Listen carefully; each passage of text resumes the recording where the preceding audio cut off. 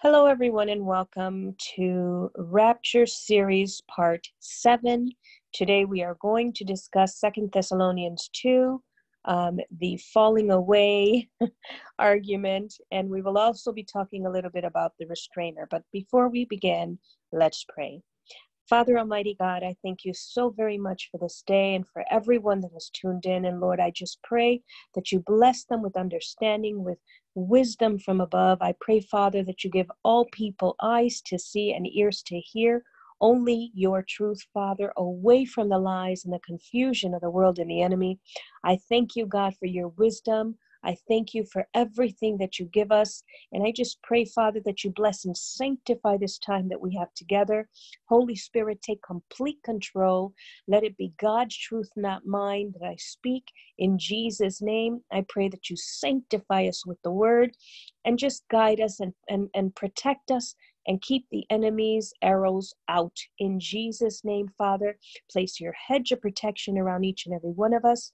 And I just pray that you guide us with your understanding. In Jesus' mighty name, we pray, and all God's children say, Amen. Okay, so let's talk about this because this is something that, again, we as Christians are not meant to um, argue about God's word um, we're to confront God's word with a humble heart, right? And we're to come to the Lord um, with a humble heart and ready to receive what He has for us. The word of God, as one pastor put it, is uh, comes with wisdom in it already. We are not to rely on our own understanding. We are to study and rightly divide in the manner that Isaiah 28 9 and 10 tells us we are to uh, study and rightly divide, taking precept upon precept, line upon line, here a little, there a little, like pieces of a puzzle. The Bible, tran- the Bible does um, interpret itself, but we need to study. We need to rightly divide. Uh, we need to treat God's word with the utmost respect and take what we have and what we're given uh, and not add or take away from what is there. Okay, so let's begin. First, um, we're going to go ahead and read Second Thessalonians 2 1 through 4. And uh, Paul writes the following Paul wrote the following Now we beseech you, brethren, by the coming of our Lord Jesus Christ and by our gathering together unto him. Pause for a minute. First and foremost, there are two distinct things that are mentioned. Um, he is talking to you about the coming of our Lord Jesus Christ and by our gathering together unto him. Okay? That ye and we're going to continue reading that ye that ye be not soon shaken in mind or be troubled neither by spirit nor by word nor by letter as from us as that the day of Christ is at hand. Let no man deceive you by any means for that day pause what day? Look at verse 2 keep it in context the day of Christ okay let no man deceive you by any means, for that day, meaning the day of Christ, shall not come except there come a falling away first, and that man of sin be revealed, the son of perdition. The day of Christ shall not come until there comes a falling away first, and that man of sin be revealed, the son of perdition, who opposes and exalted himself above above all that is called God or that is worshiped, so that he, as God, sitteth in the temple of God, showing himself that he is God. And we know that is speaking of the Antichrist. Okay, so let's pause for a minute and let's really take in, first of all, what we see in these first four verses of Second Thessalonians uh, 2. In the beginning of it, in context, where, where two things are highlighted, right? So Paul says, Now we beseech you, brethren, by the coming of our Lord Jesus Christ and by our gathering together unto him. Okay, two distinct things. Then we read that ye be not soon shaken in mind. He's trying to calm them, or be troubled neither by spirit, nor by word, nor by letter as from us, as that day, as that the day of Christ is at hand. Um, they had received uh, forged letters as if from Paul um, that the day had come. Um, they were fearful. Remember that um, these are the earlier letters that Paul wrote, right? And um, the, the, these are baby Christians that he is addressing. It was a new church that he had set up, right?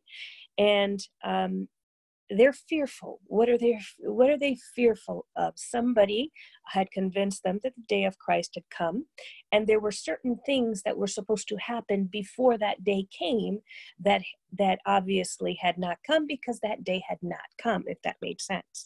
So contingent upon the day of christ um, he is reiterating to them here a falling away happens first and that man of sin be revealed, the son of perdition, which is the Antichrist, right? Before the day of Christ should come. So they're thinking because of everything they saw happening because of forged letters that that day had come. So they missed something. So there's a fear. They this is their thinking. There's a fear. Remember that this is a time with no cell phones right? No computers no internet so, whatever it is that should serve as a sign that Paul is trying to explain to them should calm them, right, is something that they would have visibly seen because there were no phones, there was no internet, and and in order to see something spiritually among baby Christians at a time of great persecution. Let's keep going and you'll understand what I mean in a minute. I'm going ahead of myself. So, for here, for what we look at with these four um, verses, first and foremost, two things are spoken of, right? Day of the Lord and gathering unto Him, uh, unto Christ.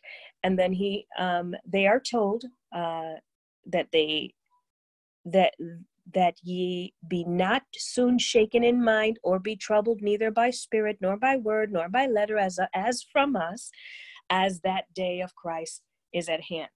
Um, in other words don't worry. I don't want you to i want you to calm down. I don't want you to to to react in a way as if you read a, a letter from us that the day of christ has come.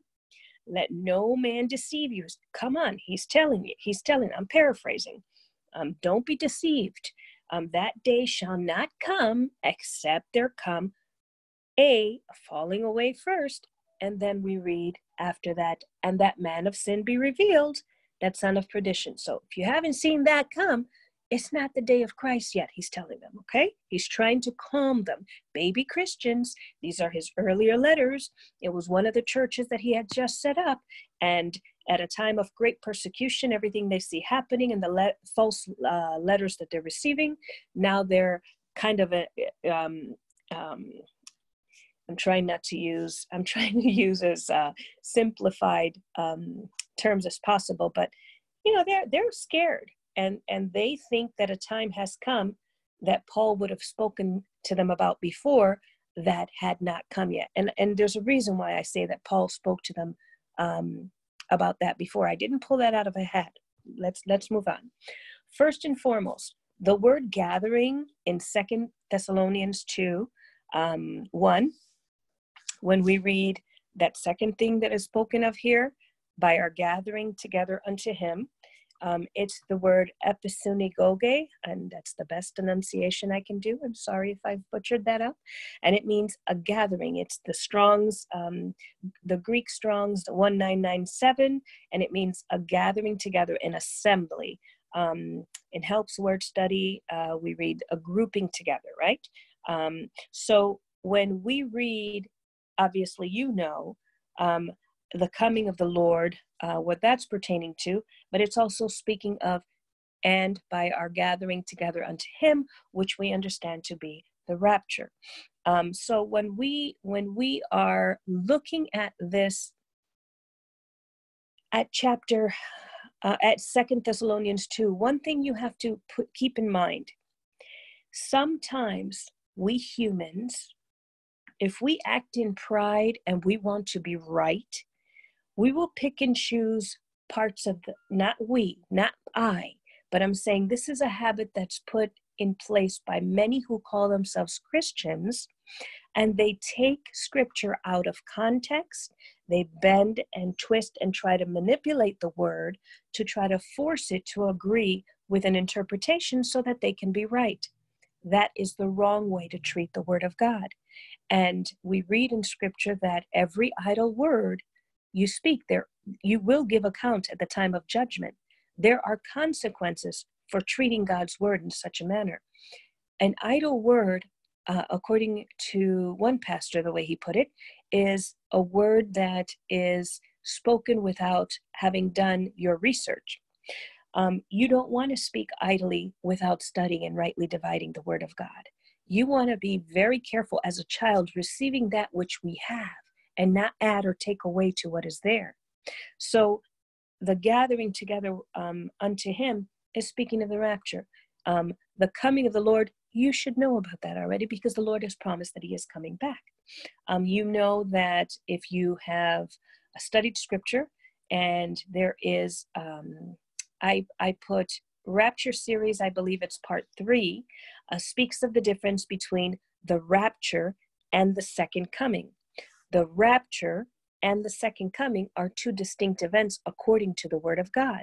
And I would refer you to please review the other um, Rapture series parts in order for you to understand uh, anything that I add on to that so that I don't have to keep going backward. Because I'm telling you, the Word of God, rightly divided, studied, and in context, it's there and it's beautifully, it, everything falls in place. Nothing is confusing if you study and you rightly divide the Word. So we see here then that um, gathering is pertaining to the rapture and the coming of the Lord. Um, they're speaking of two distinct things in Second Thessalonians 2. And when we read, Let no man deceive you by any means, for that day, it's speaking of the day of Christ. Okay? That should be very clear. All right. Um, another word now that we're going to focus on is falling away. When we read in Second Thessalonians 2 3, let no man deceive you by any means, for that day pertaining to, look at verse 2, day of Christ, shall not come except there come a falling away first. We're going to deal with this first. Okay, so a falling away first. A falling away has to come first before that day. What day? The day of Christ, right? Okay, and let's look at the original meaning of falling away because there are a lot of theories out there. And there's a lot of um, people who speak dogmatically and, and we're going to look at the, the facts here in front of us before we go ahead and jump the gun and jump to popular. I don't um, learn scripture by way of what's popularly um, accepted. I go into the word I pray for Holy Spirit to help me understand. At times, I will fast if it's something uh, that is difficult, and and and I really, um, I really feel in my heart God wants us to understand it. Um, otherwise, I will um, study. Uh, rightly divide, use the word of God, use the concordance, look at the original language, and pray. The Bible says, Ask for wisdom, and God will give it to you abundantly. Prayer is powerful. I go and I ask God um, to help me understand. If there's something that I don't understand, and I'm telling you, He will give you that wisdom from above. So when we're looking at, at the word, the original Greek word from the original manuscript that was translated to the phrase of falling away, it's the word apostasia. And it um, is listed as defection, revolt.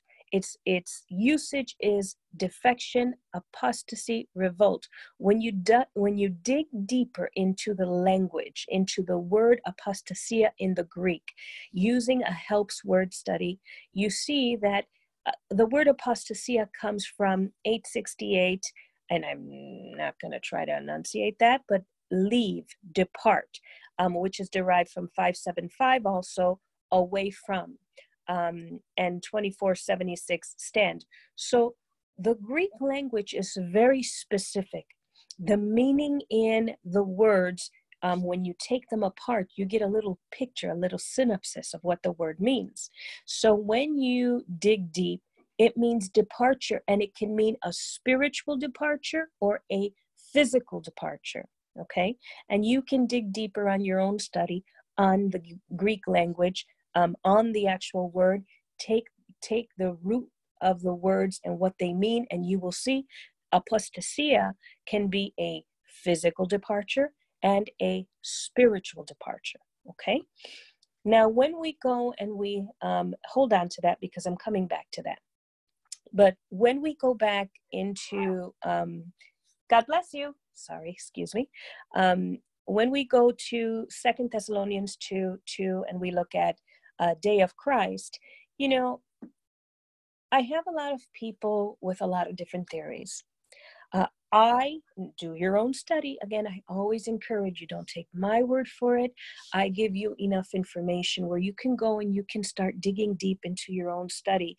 And again, with prayer, with a humble heart, looking at what's there, not adding or taking away, digging into the original language, um, letting the Bible interpret itself, you begin to get a prophetic puzzle piece, a, a, a synopsis, a, a bird's eye view to what it is that the Lord is doing in his prophecies with scripture, studying, rightly dividing. Okay? So when we look at the day of Christ, to me, when I think of, when I look at day of Christ or day of the Lord, in my eyes, it would appear to be one and the same. Now, I am understanding that in some verses you will read day of Christ and it will speak of a joy for us at the day of Christ, believers. Um, but when you read of the day of the Lord, it's a scary thing, right? For who? For us? No, for them. And that's the distinction you have to make. Um, but I believe it's one and the same in my in, in from what I've studied and what I've seen. The day of Christ. Who is Christ? Well, He's the Lord.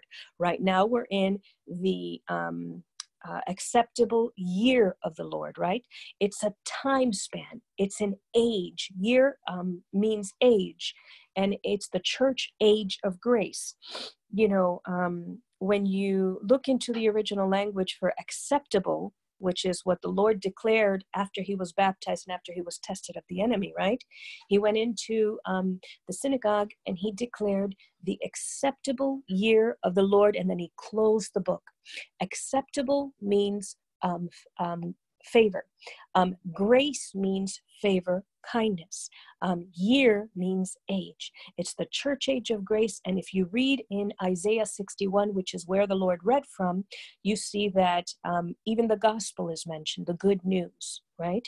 Um, and so the Lord was telling us what he was about to do in that, in this age that he started when he declared that time uh, back a couple thousand years ago. So we are in the church age of grace. And we read um, that there the Lord has uh, uh, fullness of times in Ephesians 1 2, right? Dispensational fullness of times. When you are studying your prophecy, when you are studying the, the, the Bible prophecies of, of which the Bible is one third of, you cannot step out of the order, the precepts, the, de- the decree that the Lord has laid out for his prophecies, or you will get it wrong. We are in the church age of grace. When Jesus read from Isaiah 61, he closed the book, not yet declaring the days of vengeance which follow. When you take the Bible and you take a concordance and look at look for um, day of vengeance or days of vengeance, you will learn that it begins during the 70th week of Daniel's prophecy during that seven year period. Um, I would refer you to um, study Luke 21 and Matthew 24. And what you will find is that much of Luke 21 mirrors Matthew 24, um, which describes the events before, during, and after the Great Tribulation. And you will also learn that what Luke 21 uh, refers to as days of vengeance and wrath, um, um Matthew 24, speaking of the same time period, calls it the Great Tribulation. So the days of vengeance begin during that 70th week, which falls totally in line and in the order the Lord has decreed, because right now we're in the church age of grace, the acceptable year of the Lord, as the Lord has declared it. And then he closed the book, not yet declaring what follows. If you follow, if you go to Isaiah 61, you will see that the and you compare it with Luke 4, which is I believe where we read of when when Jesus declared the acceptable year of the Lord. You know that he closed the book um, not yet declaring the days of vengeance, which is what followed the acceptable year of the Lord. Okay, if that makes sense. So, right now, we look at uh, a falling away, and we learn that it um, can be a uh, physical departure or a spiritual departure, which, which, which should begin to make sense with what I was talking about earlier. We're talking about a time without telephones. We're talking about a time uh, a couple thousand years ago when um, what was it, around 50 AD when uh, Second Thessalonians 2 was written. There was no phones, there were no computers, um, right? Um, and and for them, baby Christians at a time of great persecution, to be able to see a spiritual departure when the when the church was just starting to get built that they would know it would serve as a sign for them, it does not make any sense. Because remember, this is something when Paul is telling them, when he's calming them down, he even tells them, as you'll see in a little bit, remember not I told you about these things when I saw you, as he's trying to calm them down because they feel like they have missed something. Okay, so let's let's move on. So here, when talking about the day of Christ, as I mentioned, we read the following in Philippians 110 that ye may approve things that are excellent, that ye may be sincere and without offense till the day of Christ. In Philippians 2:16 we read, holding forth the word of life, that I may rejoice in the day of Christ, that I have not run in vain, neither labored in vain. You know, when we think of um, what will be our portion, the church, the faithful church, right, versus the portion of those who are unbelievers, sinners who will be here during that time, right?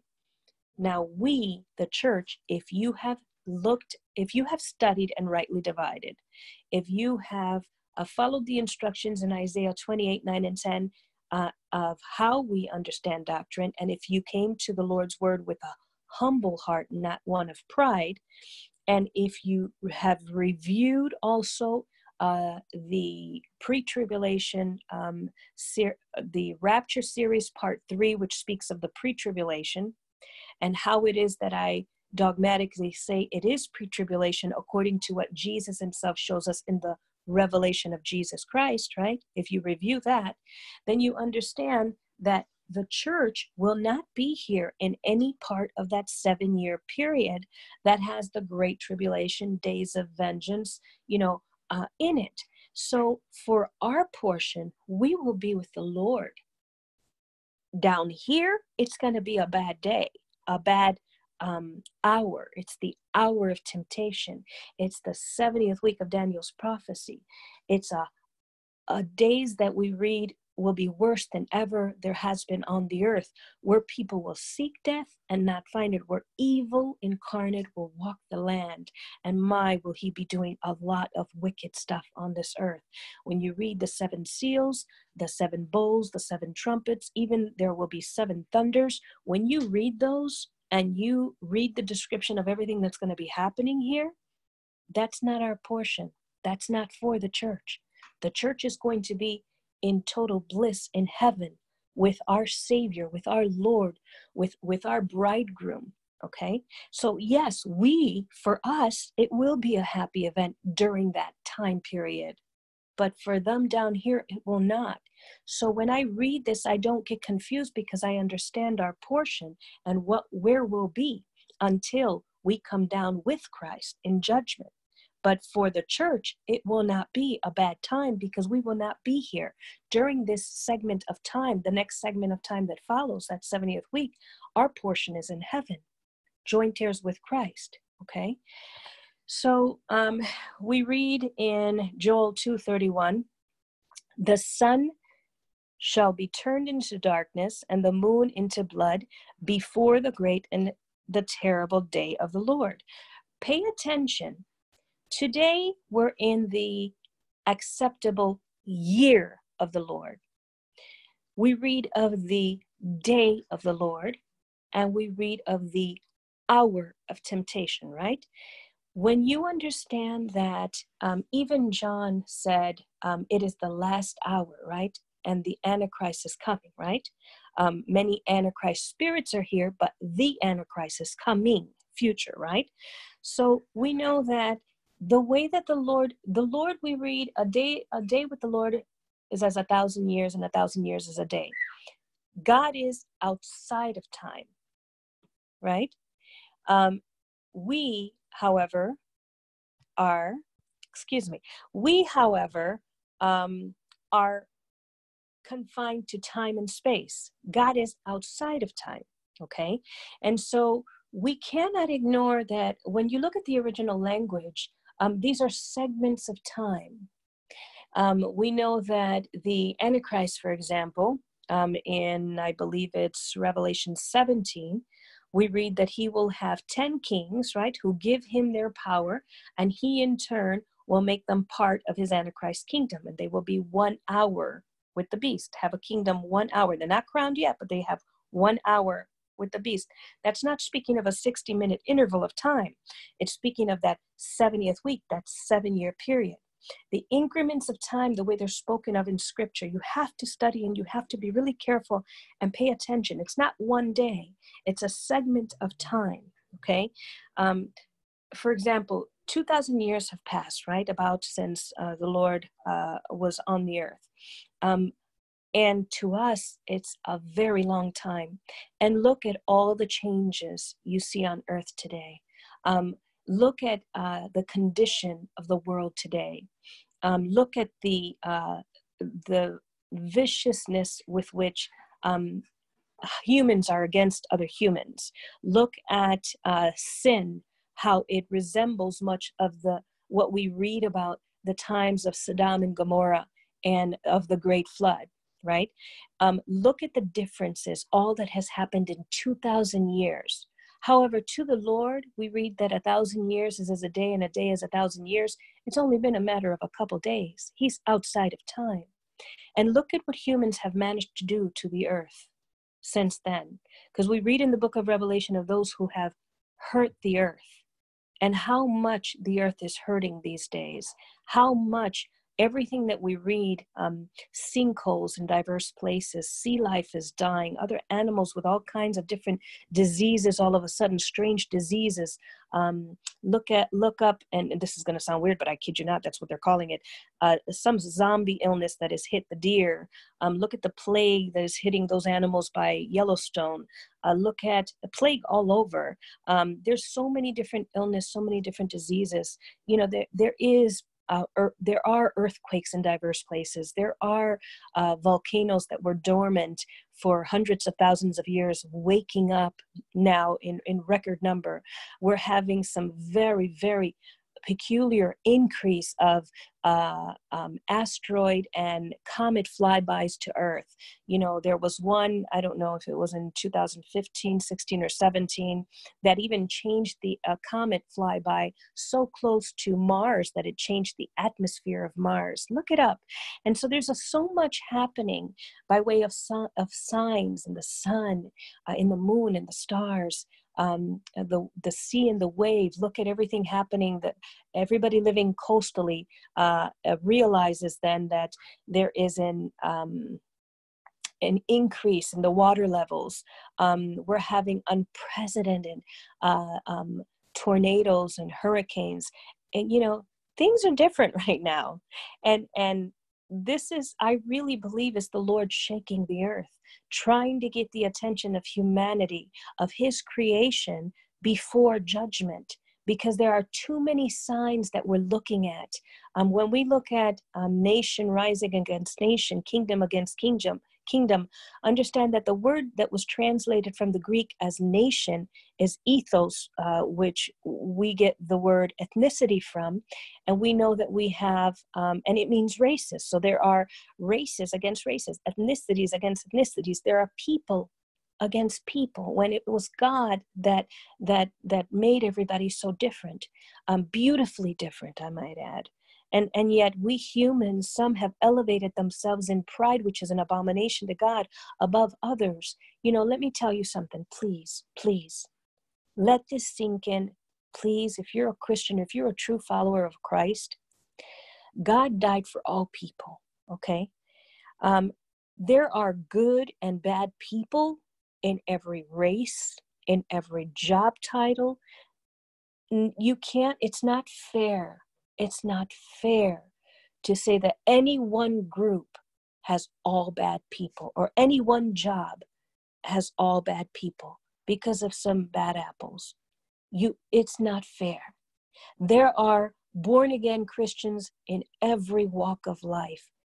And guess what? There if you're a Christian and you're listening to this and you understand that to be true and yet you're hating a certain group or race or or whatever, you know, um, grouping and you're classifying them all the same when there are good and bad in every area, every walk of life, you're going against what our Lord has commanded of us that we love one another, that we love our brothers and sisters in Christ.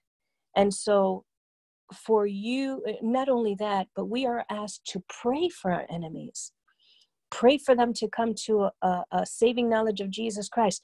We're told, furthermore, that our battle is not against flesh and blood. And you need to read Ephesians 6 to understand what is going on in this world. Many antichrist spirits, many demonic activity, many people blinded and lost who have no idea somewhat what they're doing because they're they're they're listening to the voice that's speaking loudest in their head and they don't know Christ. God wants all people to be saved. But let me let you in on a little secret. If you don't know Christ, if you're not under the protection of God, the enemy sees you as fair game. And he sends spirits to inhabit your body, which is a temple. And, and the manifestation of those lying spirits gives, uh, um, uh, what is the word I'm looking for? You can tell a person you may not be able to see the heart of a person or their intentions, but after a while with a person, you can see their fruit. And those who belong to Christ resemble the fruits of the Holy Spirit. And love is is is paramount, and love is is is is the brightest light you see in them, uh, because the Holy Spirit is the one that do, begins to do a work in you uh, when the word of God, which is a seed, falls on good ground. Listen, not to digress, because I know I've done just a little that, but I just had to lay that the Holy Spirit is putting in my heart to just say something, because I think that people are operating in hate and pleasing the father of lies. And that is not making Jesus Christ Lord over your life. If you're a child of God, you're supposed to be a light in this ever growing dark world, not conforming to the ways of the world, not being friends with the world, which is an enemy of God. You cannot serve two. You're either going to please God or please the father of lies. And if you please the father of lies, you're going to follow him toward the wide gate and broad way that leads toward destruction. When you, the Lord, has put you, child of God, to walk the path that leads toward the straight gate and narrow way that leads to life. It's a straight gate and narrow way, it's a defined path. The Lord has defined his path, He has a standard. Do you understand? You're either going to please God or you're going to please the enemy. And it's not about works. Please understand, it's not about works. But but the Bible says if you don't have love in your heart, you have nothing. If you don't have love in your heart, you have nothing. You can be a martyr you can be this, you can be that, you can know all the Bible. But if you don't have love, which is paramount, and the Lord has asterisks highlighted it, you have nothing.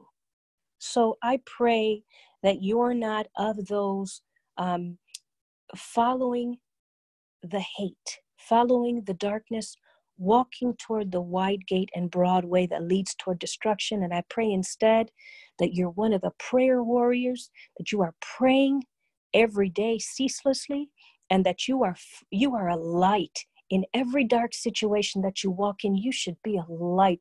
You you you cannot be hidden child of god okay? So anyway let's continue. So the sun shall be turned into darkness and the moon into blood before that great and terrible day of the lord uh, the prophet Amos 5:18 we read, "Woe unto you that desire the day of the Lord, to what end is it for you? The day of the Lord is darkness and not light. Remember, we are children of light, not of the darkness." Um, Amos 5:20, uh, "Shall not the day of the Lord be darkness and not light, even very dark and no brightness in it?" Listen, when the church leaves, of course it's going to be a dark time on the earth. Because remember that Jesus said he is the light of the world and he is our head and we are his body and we are the light of the world in this church age of grace right? But when the church goes up how dark will it be on this earth during that time? Um, i want to talk about uh, something that we see in many parts of the bible but in specifically i want to take you back to second thessalonians uh, 2 because i want to show you something. Paul says the same thing twice in two different ways. Now, I want you to notice that he is telling us in Second Thessalonians 2 3 that there is a falling away first, right? He says that before even the man of sin being revealed. There's a falling away first, right? Right? And we've already distinguished that according to the original Greek word that was translated to a falling away, that can be a spiritual departure or a physical departure. And in context, by studying this chapter, according to what we know through the other uh, parts of the Bible, right?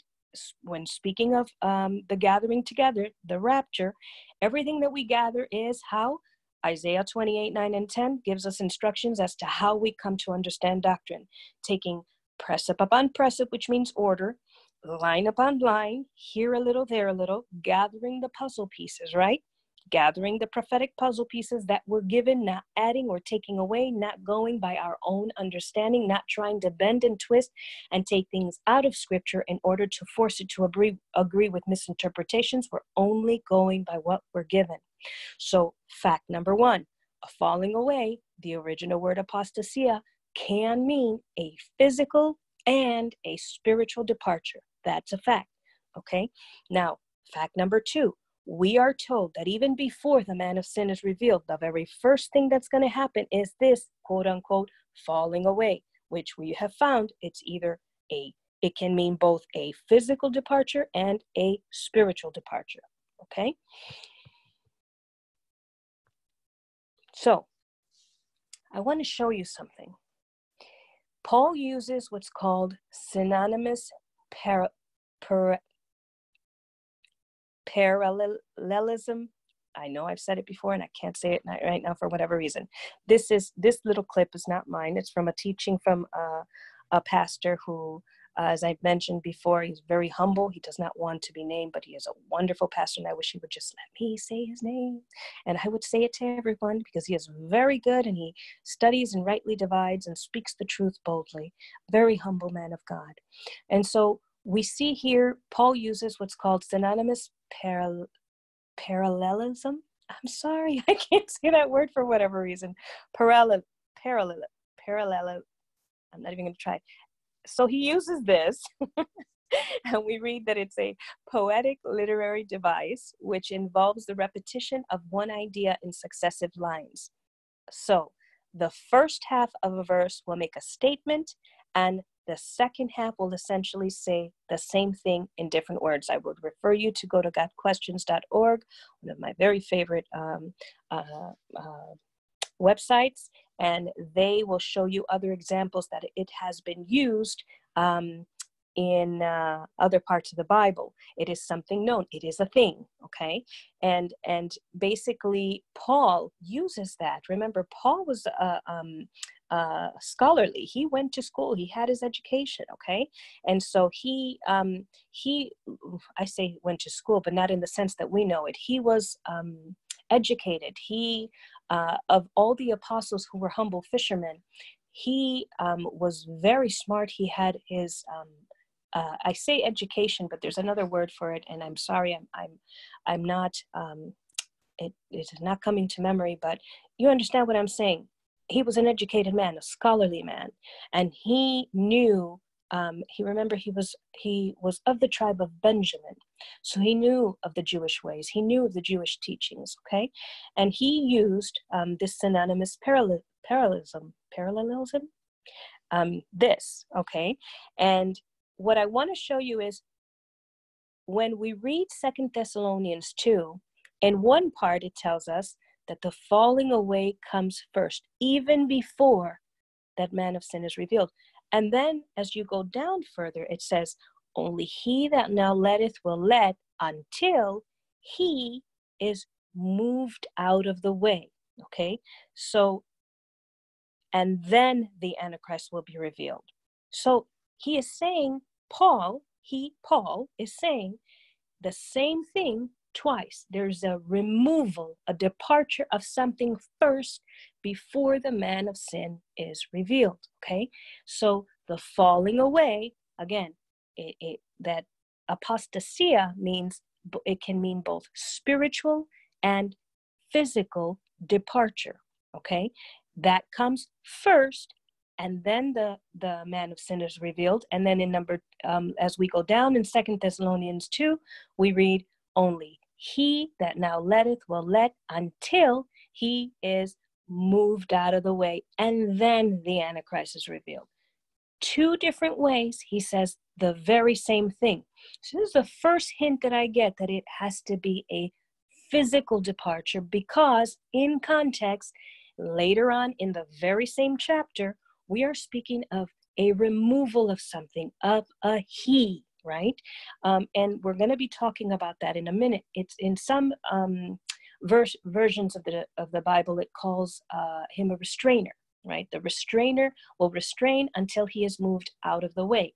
We'll talk about a little bit about the restrainer, but let's deal first with this falling away. Okay, so keep in mind um, that word that I told you. Also, keep in mind that I don't know how many are aware and this is something that, again, I learned from this pastor. I took another clip from his teaching. The first seven translation of the English Bible had departure and not falling away. And he, he begged the question who was in charge back then? Who changed it?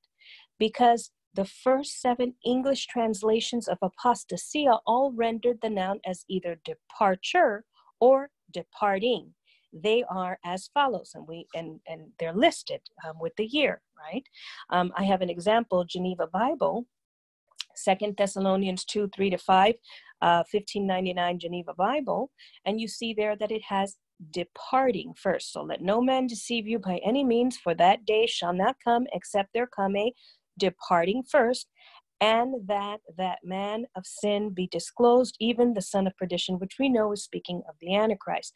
So, the very first thing before even the man of sin is revealed is that departing first. And I want you to put that in context with what we read um, uh, uh later on in Second Thessalonians to the same chapter that only he that now letteth is moved out of the way, and then the Antichrist is revealed. Okay? So I would say according to what we read, that it would appear to be the falling away and the being moved out of the way is speaking of the same thing. However, let's look at the details. Let's dig a little deeper. Let's study. Let's rightly divide. Let's take precept upon precept, line upon line, here a little, there a little, and let's let's let God be true and every man a liar. Okay, so we've read this. Um, I want to read something to you that I got from IsraelMyGlory.org, which I thought was um, giving us more information about that time and the church in question, right? Because um, it's important that we understand um, what the atmosphere was like, what was it that they were possibly dealing with, and everything else that we read on here. So, according to this website, we read the following one of the apostle one of the apostle paul's most important ministries took place place in Thessalonica. His letters to believers there show how he established churches early in his ministry, met with opposition, instructed new believers in doctrine, mentored Christians, and presented major themes on end times prophecies. Prophecy, uh, excuse me. So, as we appear to be in the last days, it is especially important to study Paul's epistles to the Thessalonians, through to the Thessalon, Thessalonians, including how and when the church was planted. I have no idea why I can't talk all of a sudden. Um, and so um, he references Acts 7 1 through 10. We continue reading in the same uh, website. Thessalonica was established around 315 BC by Cassander, who named it after his wife Thessalonica, the half sister of Alexander the Great. The Romans took the city in 168 BC and made it the capital of Macedonia in Greece. Thessalonica was a free city without a military force, governed by its citizens, and was more Greek than Roman in character. Its population, estimated um, at 200,000, was made up of Greeks, Romans, and Jews. This, the same web, uh, website, we continue reading. The city borders the Aegean Sea, providing access to the Mediterranean. Its location made it a major shipping center, second only to Corinth and Ephesus. Artisan, artisans, uh, merchants, and trade guilds made it wealthy, although most citizens performed physical labor of all types. Religious plural, pluralism, pluralism filled Thessalonica with all types of pagan cults, temples, and deities. Archaeological evidence indicates at least 25 gods were presented in heathen worship, including Zeus, Athena, Apollo, Artemis, Artemis, um, Aphrodite, Dionysus, Dionysus, um, and the Roman emperor, to name a few. However, some Gentiles had become proselytes to Judaism and were known as God-fearers. All right, so that gives us an idea to a little bit of what was happening, the history of what we read over there. Now, I want to show you something. Um, from among the letters in the books that uh, Paul wrote, the letters uh, First Thessalonians and Second Thessalonians were the earliest, 50 AD and 51 AD. And what I want to tell you is obviously First Thessalonians came before Second Thessalonians, right? Um, here is from Got Questions, uh, and they give us. I'm sorry, this one was a little longer, so I don't know if I I didn't catch them all, but this one has uh, uh, the majority of them, if not all of them. And I know that there were questions about Timothy, um, whether Paul wrote them, but I'm not going to address that right now. We're going to focus on First Thessalonians and Second Thessalonians, right? Because that is what we're talking about. We're discussing here. So know that it was one of the earlier writings, um, one of the first writings, the letters, the um, for for. Uh, the, the baby Christian church that Paul had set up at a time of um, persecution and Paul, um, of course, was chased away and he could not confront them in person. So he wrote those letters, right, to the baby Christians from the church that he had just set up. Okay, um, I want to read this. Um, it's from, I, I'm not familiar with uh, this organization or church I'm not sure what it is, but I was reading some of the information that they had there and I thought it very interesting. So I have included a screenshot of this in there. Paul, Silas, and Timothy had been chased out of Macedonia, but they did not abandon the infant churches they left behind. Indeed, they were worried because the new believers in Thessalonica were being persecuted. Paul did not know how they would cope. Um, so I, I want to paint the picture it was a time of great persecution. Um, these baby Christians who Paul had spent, I don't know if it was three weeks or three months there when he was setting up that church, right? Um, all of a sudden they're they're they're hit with fear um, because of everything happening, the the persecution. But and remember, this is just at the beginning of the church, right? Um, the church was just beginning to get built. Um, it started with Jesus and it was continuing now with the apostles, and they were just starting to build the church, right? Starting to do their portion, continuing Jesus' work, starting to do their portion of the unction they're given, right? By the Lord. And and as led by the Holy Spirit, they did what God had wanted them to do here on earth, right? And so there was a time of great persecution. Remember, um, um, these are days where where they were baby Christians and they were just learning how how how this you know Christian thing went right? How how this what it meant to to um, follow Christ right? Um, and they were suddenly bombarded with um, these letters scary letters in a scary time um, lies forged letters in a scary time, and and they were um, uh, beginning to wonder wait did we miss something? Did we miss this this this this thing this departing this this thing which is supposed to happen before um, the day of the lord? Are we now in the day of the lord? Did we miss this thing that we were supposed to be looking for? Okay? And we're just gonna pause there. And now i want to um, go a little further into Second Thessalonians 2, so we add on to what we've spoken so far. So I'm going to read this. Um, this is Second Thessalonians 2. We're beginning at 5, uh, verse 5. Um, Paul says to uh, the, the Thessalonians, um, Remember ye not that when I was yet with you, I told you these things? So what he is trying to comfort them with is something that he had spoken to them about before. Remember, First Thessalonians came before Second Thessalonians. And when we try to think of did Paul speak anything about a departure um, in First Thessalonians 4 that would have made sense and served as a sign and also a comfort that it hasn't happened yet because he's reminding them listen, um, um, this happens first. And then that time comes. Don't you remember I told you about this? This is me paraphrasing for him, right? Remember ye not that I was with you? I was yet with you. Uh, I told you these things. Anything remotely close to a departure is speaking of the rapture in First Thessalonians 4, 16 to 18, that would have served as a comfort. Okay.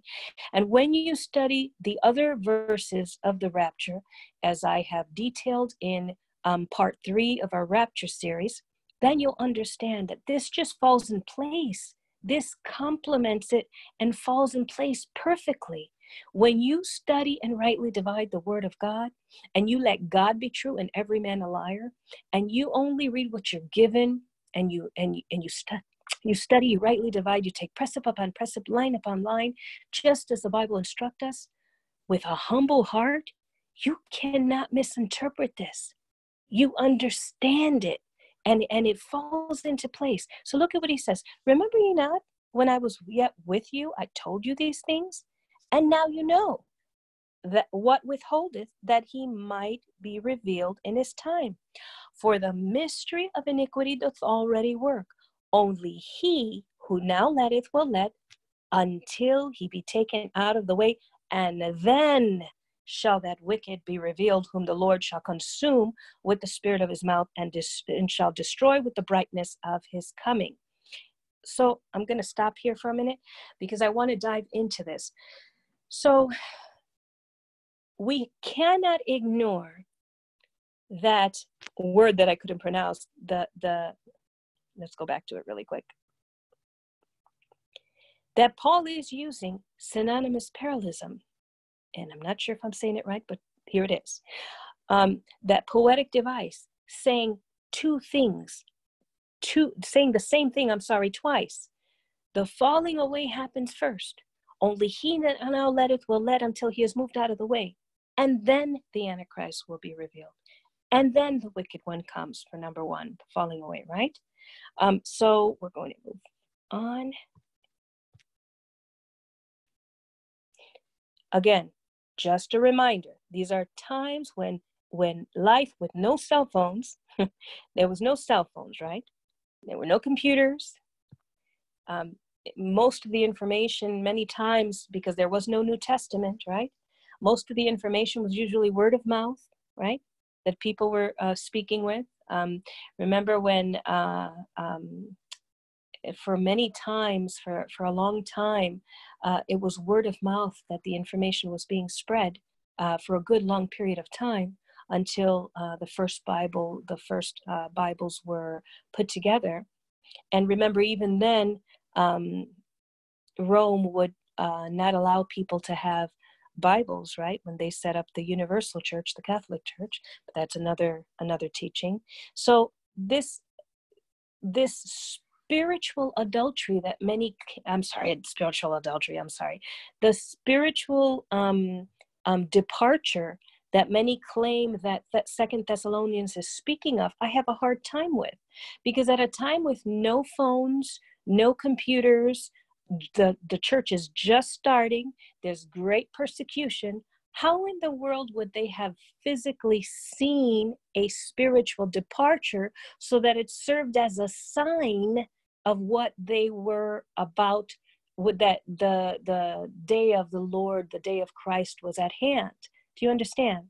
I believe that the falling away that paul is trying to comfort them telling them that that happens first is not something that is not visibly seen.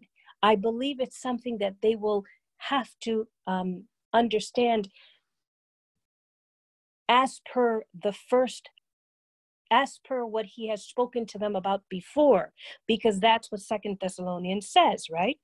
Um, remember ye not that when i was with you i told you these things? And we see in uh, first thessalonians uh, 4 that he speaks of um, uh, the lord himself right? And and we read what what uh, the catching away um, rapture uh, harpazo right um, is a physical departure of the church, right? The church will no longer be here on earth standing in these corrupt bodies, but we will be changed, right? So I, I, I have a hard time believing that the Second Thessalonians 2 sign that uh, Paul would have been comforting them with that they should have known that is something that he would have have spoken to them about before, so that they would have known that they were not um, that the day of the Lord, the day of Christ had not come yet, is that this departure was a physical one that they would have seen because there was no way for them to have seen a spiritual departure when how much of the earth was part of the church back then when it was just starting do you understand? So it was i don't believe that it was a spiritual departure because when we look at all the facts and we look at uh, uh, what is said here with the one who now letteth will let until he take he's taken out of the way and then the wicked one is revealed is in parallel is a parallel verse to what we read about the falling away. And i believe is a physical departure because that is what this is. This is a physical departure. Somebody a he moved out of the way so we're going to talk about that because I think it's important that we put the two together and understand what we're being told right there instead of just, you know what, so many people are saying it's this way, so I'm just going to jump on the bandwagon and believe it blindly without looking at it, without researching it myself. And then not only will you not have researched yourself, you're passing it on as fact and arguing in forums or comments uh, when you haven't studied yourself. There's something wrong with that. Study, rightly divide. Um, um, look at the original language. You know, there are so many ways that we can research uh, the matter out and find the truth and ask Holy Spirit to help you. He is so real and He will help you. God wants to give you wisdom and give it to you abundantly. Okay? So, when we're talking about a physical departure versus a spiritual departure, one that would serve as a sign that could visibly be seen to me is a physical departure. And again, this is another one of um, the charts that has. Uh, this is not originally mine. I, I copied it and I thought I put down who I got it from. I will have to list it on the bottom. I pray that I'll remember. Um, but this is also showing you which versions of the Bible had departing um, versus falling away. Okay? Now, I want to show you something with respect to speaking of the restraining force on earth. Okay? Because we're going to talk a little bit about the He that now letteth will let until He is moved out of the way, right? It's a physical move out of the way, right? And then the Antichrist will be uh, revealed. And the falling away, which I believe is a physical falling, a physical departure rather, um, that also is before the Antichrist is revealed. Okay, so there is that's a parallel verse, and Paul is saying the same thing twice in two different, excuse me, two different ways, and it cannot be ignored. So let's talk about the He. What power can restrain Satan? What power are we told in the Bible is greater than the one in the world? Well, let's let's look at what is being done in the world, right? Um, the prophet Zechariah in, in, in chapter 4, verse 6, that we, we learned the following. Then he answered and spake unto me, the angel to Zechariah, saying, This is the word of the Lord. We know who the word of the Lord is, right? Unto Zerubbabel, saying, Not by might, nor by power, but by my spirit, says the Lord of hosts. The work that is being done on the earth today is by the power of the Holy Spirit. The church that Jesus built and purchased with his precious blood has become the temple of God that houses the Holy Spirit, the Holy Spirit of God, of which blasphemy against is unforgivable. The body of Christ has become the temple of God, and in it, in that body, one body, many parts, is the Holy Spirit. And the work being done on this earth, although God has power, although God has might, and we saw so much of it, we read so much of it in Old Testament times, the power the, the thing being done on this earth right now is by the power of the Holy Spirit. Okay? And what do we read in John 16, 7 through 11? Jesus said, Nevertheless, I tell you the truth. It is expedient for, for you that I go away. And if I go not away, the Comforter will not come unto you. But if I depart, I will send him unto you. And when he is come, he will reprove the world of sin, that means expose, and of righteousness and of judgment. Of sin, because they believe not on me. Of righteousness, because I go to my Father, and ye see me no more. Of judgment, because the prince of this world is judged. Satan is a defeated foe. What he is doing right now, he came to kill, steal, and destroy. He wants to seal as many to him so that they follow his fate into the lake of fire. And he will say and do whatever he can to take as many as possible with him. If today, in this church age of grace, you do not get sealed by the power of the Holy Spirit with the seal of God in the unseen by accepting Jesus as your Savior, you will be plunged into the next time segment, the next thing on God's prophetic clock, if you do not belong to Christ.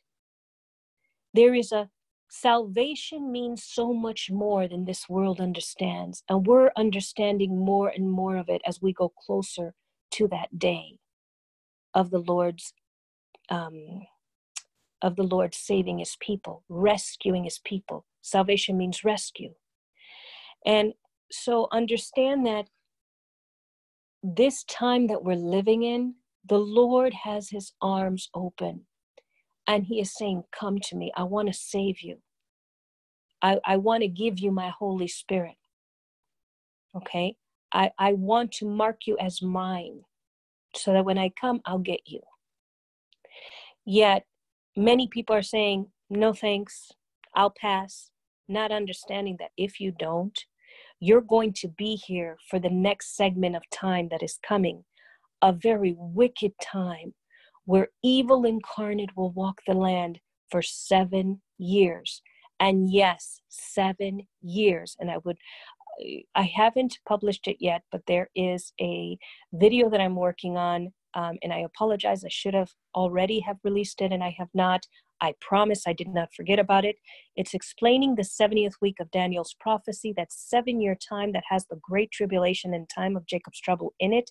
Um, I promise to try and get it out by next week. Um, but I have not forgotten about it, okay?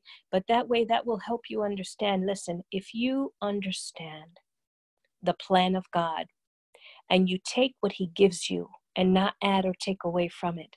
And you humble your heart and take what God gives you instead of relying on your own um, understanding or glorifying yourself in pride, which is an abomination to God, and trying to bend and twist God's word to try to be right. There's no, for what? For what do you want to be right? Listen, if you're one of these people that are filled with pride and you argue as the Pharisees did with Jesus, right? If you argue with the word of God to get self glory here in this short time that you're on earth. And and you're kicking your eternity aside because you'd rather be prideful and right and glorified on earth than go with the one who who des- who deserves rightfully all the glory by humbling yourself to his truth and receiving what he has for you because the word of God sanctifies it sets you apart as holy unto God. You have a choice to make right um, so we see then that the work being done and i'm digressing i apologize the, the work being done right now on the earth is by the power of the Holy Spirit, not by power, not by might, but by God's Spirit. And the Holy Spirit lives where? Inside the body of every believer in Christ. We have become the temple of God, right? Um, the Holy Spirit lives in us. He lives in us. Not by power, not by might, but by God's Spirit. And what do we read? What do we read the Comforter will do? When he is come, he will reprove, which means expose the world of sin and of righteousness and of judgment, of sin because they believe not on me. Jesus is talking, of righteousness because I go to my Father and ye see me no more, of judgment because the prince of this world is judged. What else do we read about the Holy Spirit? Well, we go to First John 4 4, and what do we read? Year of God, little children, and have overcome them because greater is he in you than he that is in the world. Who is in you, child of God? The Holy Spirit, right? The Holy Spirit. Greater is the Holy Spirit in you than he that is in the world. Who's the he in the world? Satan. He's a created being, right? But the Holy Spirit is one part of the fullness of God, of the Godhead, right? God the Father, God the Son, God the Holy Spirit. One God made up of three parts, right? And so, what else do we read? in 1 Corinthians 3 16 to 18, we read the following Know ye not that ye are the temple of God, and that the Spirit, capital S, Holy Spirit of God dwelleth in you? If any man defile the temple of God, him shall God destroy the body. For the temple of God is holy, which temple ye are. Let no man deceive himself. If any man among you seemeth to be wise in this world, let him become a fool, that he may be wise. The Holy Spirit lives inside the body of every born again believer in Christ. Remember that Jesus said, You must be born again to see and to enter the kingdom. When you are born again, you believe Christ, you confess with your mind and believe with your mouth and believe with your heart, you receive the Holy Spirit of God in you that seals you with the mark of God in the unseen, right? And and that holy spirit is greater than the one in the world. You are sealed until the day of redemption. You are sealed until jesus comes for his purchased possession. You are sealed until the day that the lord redeems this body if you look at romans 8 right? So I, the wheels should start turning in your head as you think of Second Thessalonians 2 again. So in First Corinthians 6 15 to 20, we read the following Know ye not that your bodies are the members of Christ? Shall I then take the members of Christ and make them the members of an harlot? God forbid. What? Know ye not that he which is joined to an harlot is one body? For two, said he, shall be one flesh. This is speaking of spiritual adultery and spiritual fornication. When you bow to another, when you've been espoused to one. The, if you go to Revelation 2 19 to 23, that is one example of things that will get you cast into the great tribulation is spiritual adultery and spiritual fornication. You've been espoused to one, one you're supposed to keep your, your garments clean, not defile them, right? By bowing to another, worshiping another, right? Um, let me continue 17. But he that is joined unto the Lord is one spirit. Flee fornication, especially speaking of spiritual fornication. Every sin that a man doeth is without the body, but he that committeth fornication sinneth against his own body. What? Know ye not that your body is the temple of the Holy Ghost which is in you, which ye have of God, and ye are not your own? For ye are bought with a price. Therefore, glorify God in your body and in your spirit, which are God's.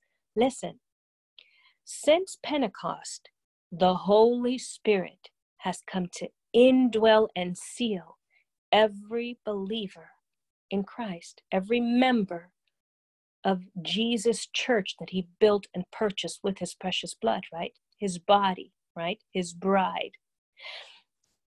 Since Pentecost, before Pentecost, the Holy Spirit de- did things a little bit different.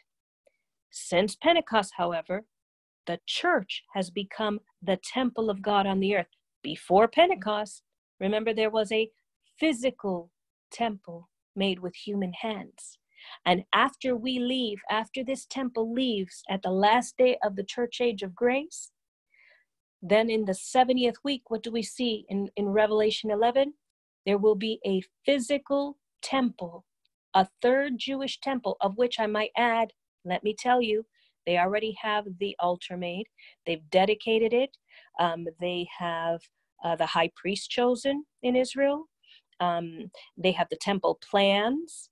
Uh, there's a lot going on right now that tell us, hey, that 70th week is very close. And if we read in scripture that the rapture happens before that 70th week, how much closer are we to the redemption of Jesus, of Jesus' precious bride, of his body, of his church? So when we think of us, the church, the faithful church that Jesus purchased with his precious blood, that one that Ephesians 5, that the two Jesus and the church shall be one. It's a spiritual marriage. This temple that exists in the earth during this church age of grace that has been here since Pentecost, right? The Holy Spirit came down at Pentecost and from then has been indwelling inside the body of every believer in Christ, of his body, Jesus' body, okay? And the Holy Spirit, we're going to see in a little bit, the Holy Spirit has an active part in the rapture. And I want to show you something that I think is just so mind blowing. Is why I believe is the restraining force on earth because we are given power. The church is given power over all the powers of the enemy by the power of Jesus' name, by the power of his spirit, and by the power of his blood. The church is given power over all the powers of the enemy. The church belongs to Jesus. He is our head, we are his body, right? And he, Jesus, has the keys to death, hell, and the grave. He had victory, right? And greater is he in us than he that is in the world. And he that now letteth will let until he is taken out of the way. And where the Holy Spirit goes, we go. Okay? So let's keep reading. In Acts 8 36 to 40, we read the following this is the part where Philip uh, was baptizing the eunuch. And as they went on their way, they came unto a certain water, and the eunuch said, See, here is water. What doth hinder me to be baptized? And Philip said, If thou believest with all thine heart, thou mayest. And he answered and said, I believe that Jesus Christ is the Son of God. Oh, I get goosebumps when I read that. And he commanded the chariot to stand still, and they went down both into the water, both Philip and the eunuch, and he baptized him. And when they were come up out of the water, the Spirit of the Lord, Holy Spirit, capital S, the Spirit of the Lord caught away Philip that the eunuch saw him no more, and he went on his way rejoicing. But Philip was found at Azotus, Azotus, sorry if I mispronounced that, and passing through, he preached in all the cities till all came to Caesarea. Listen, let me go back to 39 because I think you missed that. Acts 8 39. That phrase caught away is harpazo, the very same word that is uh, translated to caught up in First Thessalonians 4, I think it's 17, which speaks of the rapture. One of the main rapture verses that caught up harpazo, that because of the Latin we get the word rapture, is caught. The same word is being used here, caught away, harpazo, for Philip. So by the power, and who did it? Who who who who caught away Philip? Who who harpazos Philip? The Spirit of the Lord, the Holy Spirit, caught away Philip, so that the eunuch saw him no more, and he was just so happy and filled with the Spirit himself. He was quite fine that one moment Philip was there, the next moment he was gone, and he had the joy of the Lord in him. He being the eunuch, and he was quite fine with it. He went on his way rejoicing. Hallelujah and praise to God. And we know that feeling of joy, of the joy of the Lord, don't we? And we should have the peace of the Lord these days. And we should be being a light in this in this earth right now. The little bit of time that I believe is left, that we should be a light in this ever-growing dark world. We should world, we should be praying ceaselessly, both for those we love for ourselves, for our churches, for our pastors, even for um, our enemies. We should be prayer warriors. That's part of our spiritual armor. Um, we should be praying. You know, remember, Daniel prayed three times a day. Some people ask me, how many times should I pray? Daniel prayed three times a day. Um, how, how often, you know, I mean, listen, pray with your heart. That's the most important thing. Pray with your heart. Pray pray. Everything that the Holy Spirit puts on your heart to pray, pray, and, and keep praying. Um, pray. And, and so we see here that by the power of the Holy Spirit, Philip was caught away physically, harpazos, from one place to another, physically by the power of the Holy Spirit. And I believe the Holy Spirit will have a huge part in our being departed from this earth. You know, a lot of people have mentioned and asked, well, isn't Michael a better candidate for the restraining force? But I want to remind you um, of something that we read here about the archangel Michael. Now, I believe he's a powerful archangel, and and but I believe he has uh, uh, also an unction. He has something that the Lord has him doing, and it's not that he can't, but I believe that there is something that he is allowed and not allowed to do as per what God's plan and for his glory is. And so we read in June, Jude 9 the following Yet Michael, the archangel, when contending with the devil, he disputed about the body of Moses, durst not bring against him a railing accusation, but said, The Lord rebuke thee. So it's not that I think that the archangel Michael couldn't, you know, go toe to toe with the enemy is that I believe there's a plan of God and that the plan of God is by the power of his Holy Spirit. And I believe that the archangel, um, his mission is over the people of um, Israel, because that's what we read. And I don't know if I included any here. I might not have, and I apologize. I did not. Excuse me. But if you look, I think it's in the book of Daniel. We read about um, I think it's Daniel 12 10, excuse me, um, where um, we read that the archangel Michael is who looks over the people of Israel, or rather, um, he has a very active role with the people of Israel, particularly in these last days, and I believe especially during the 70th week of Daniel's prophecy.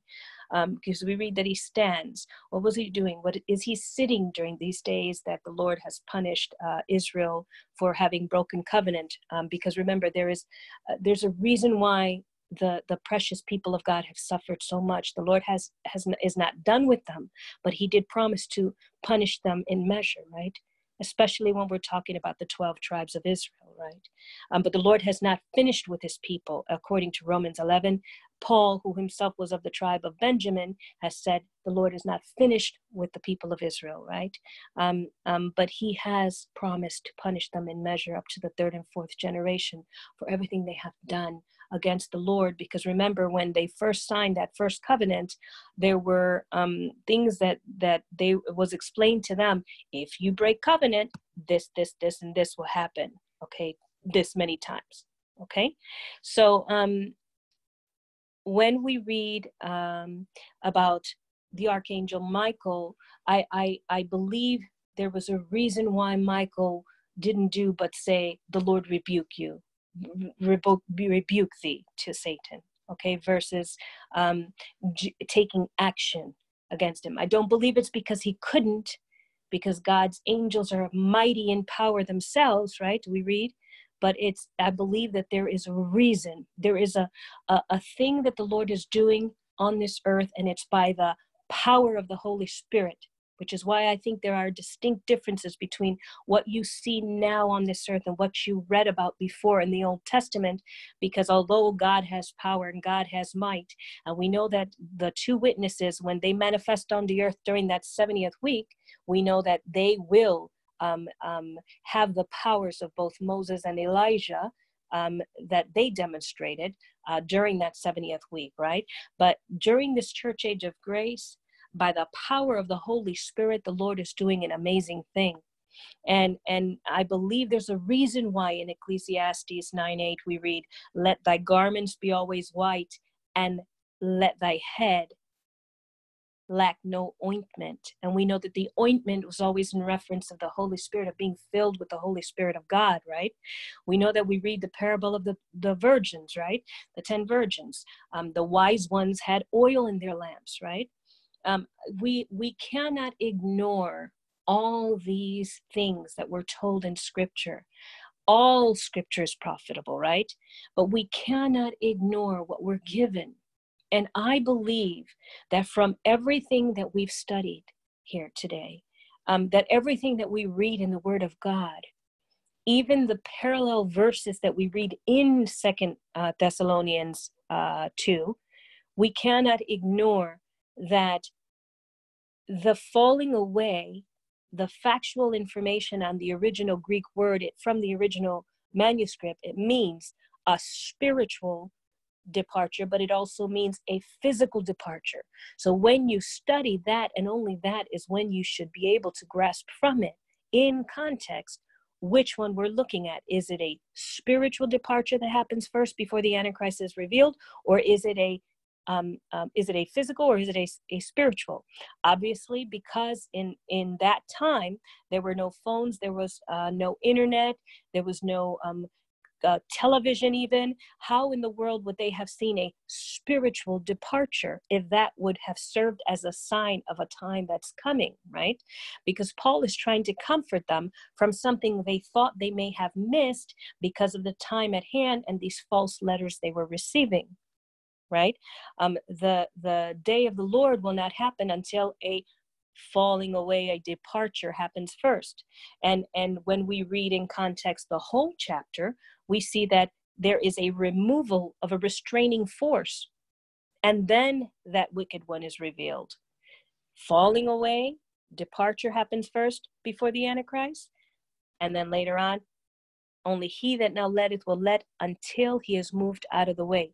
The He is the Holy Spirit, which we read is greater than the one in the world. The He is inside the church, right? The church is the body of Christ, right? The church is, um, um, we are Jesus' purchased possession, right? And if we read all other um, rapture verses, if you have um, studied and and followed through with all this the whole series that i this is part seven. If you've looked at all of the others especially part three that speaks on a pre-tribulation rapture and tells you who that group is in revelation 4 and 5 who is crowned with gold crowns of of, of salvation uh, kingly crowns right? Who is clothed in white raiment, uh, speaking of glorification, uh, who is seated on the throne, overcomer promise that was only promised to the church um, who is singing about being redeemed by Jesus' blood out of every kindred, tongue, people, and nation, who is singing about being made kings and priests and reigning.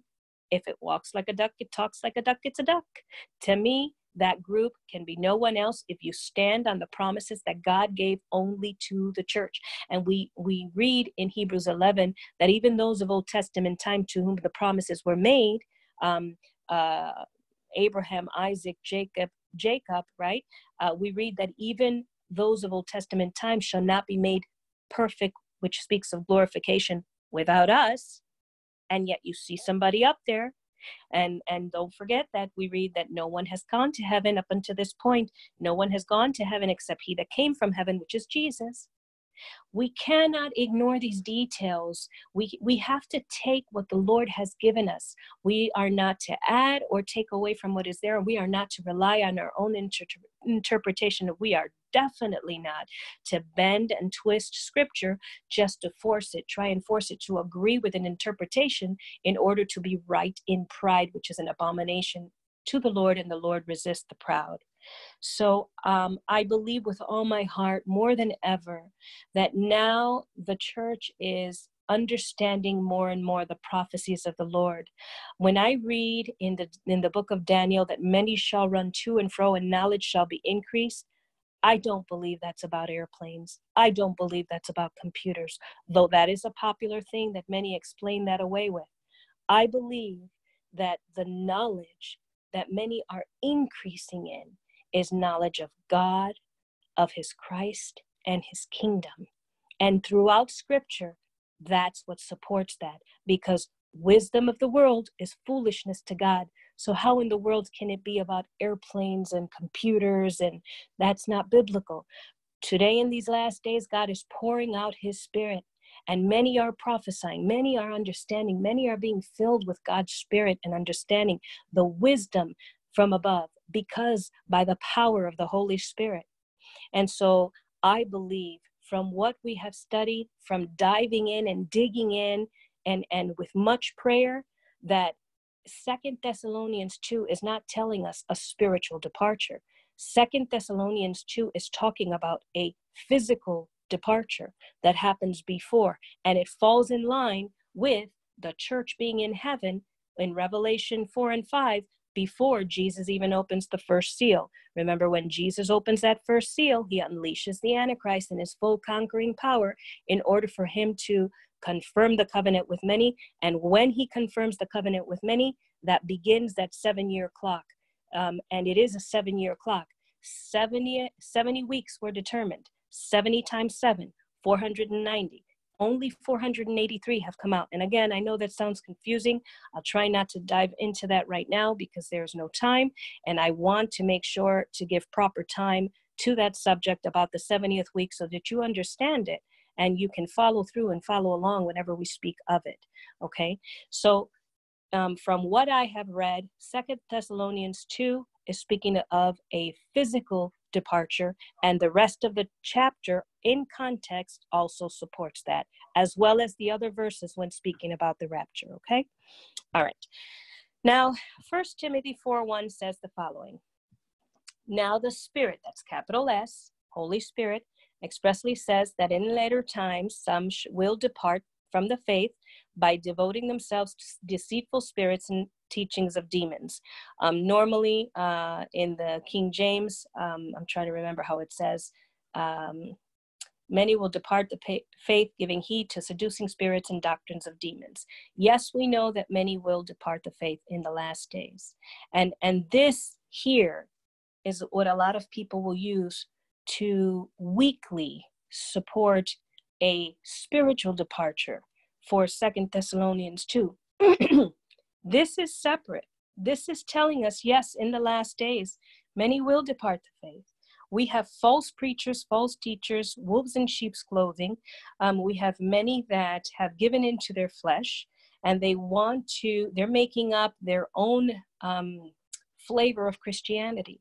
Um, this is something that has existed even before, um, that where people have um, uh, changed. You know, remember what Paul said um, many will follow um, you know he and i'm trying to remember which verse he spoke it was in the book of acts i believe maybe 10 um, where he's talking about that he he he tries to he tried to explain it to us with tears for like three days and he says um, you know there are many that will make disciples for themselves um, um, but they're false. They're they're teaching false ways you know we're we're warned by peter we're warned by jesus we're warned by paul. You know at the mouth of two to three witnesses a thing will be established. Deception deception has existed since jesus left the earth. Many have tried to make their own disciples and make their own ways. How many of the false religions that exist today existed back then? You'll find not many it was only after Jesus left that many of these religions began to surface. You know, there have been religions that have existed, um, religions that Satan himself has uh, inspired. Um, you need to understand that the Tower of Babel, many things happened during that time. And there are many things that we read about um, the false deities um, that were conjured up uh, starting at that point that stemmed from that moment, from that time. And so that's another um, teaching, but we can't be sloppy with interpretation. We have to be very careful what we read in the Bible and careful to um, misrepresent it. Um, we are to study and we are to rightly divide. And we are to use Isaiah 28 9 and 10 that gives us instructions as to how we come to understand doctrine.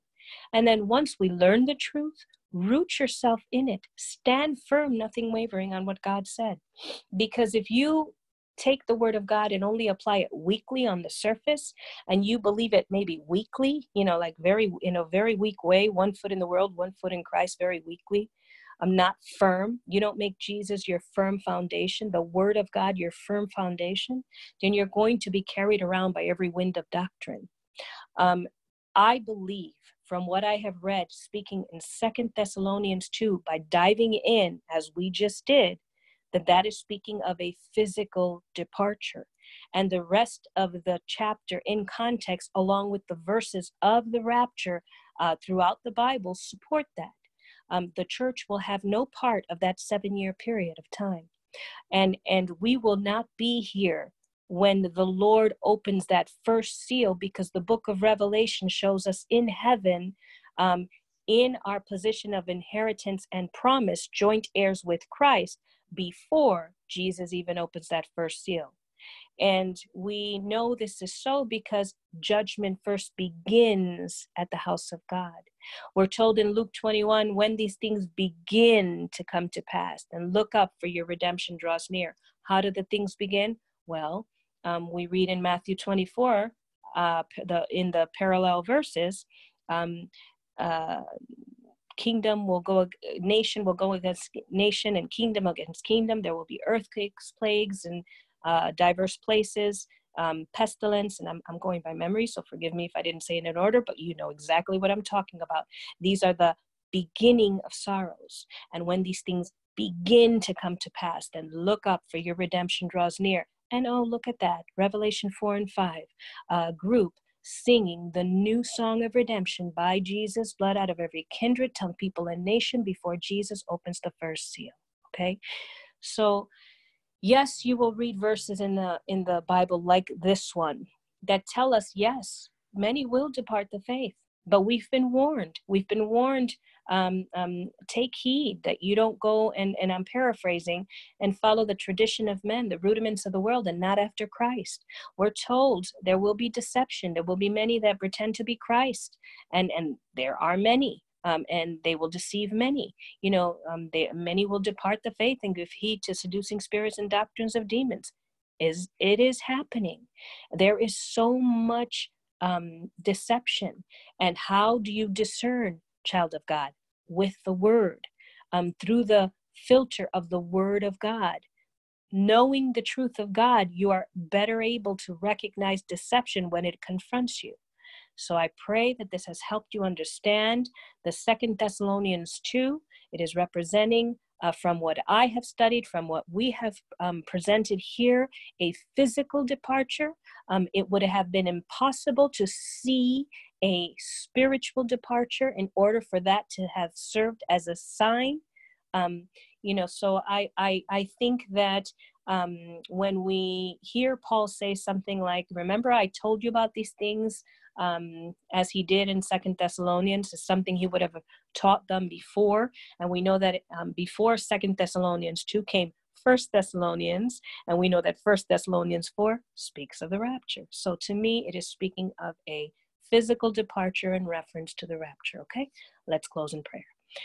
Father Almighty God, I thank you so very much for everything you have given us this day.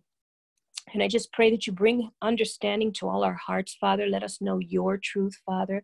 We want to give you the glory, the honor, the praise. And we just thank you, Lord, for everything that you have done, everything that you continue to do, and everything you have yet to do. We pray that we are accounted worthy to escape those things that are coming upon the world and to stand before the Son of Man, clothed in white raiment. And we say to you, Lord Jesus, come. And we thank you for loving us as imperfect as we are. We ask that you bless every individual, Father, that has that has tuned in to listen or that they're watching the video. And i just pray that you bless them abundantly with your wisdom. In jesus mighty name we pray and all god's children say amen. Thank you very much. God bless you. Bye bye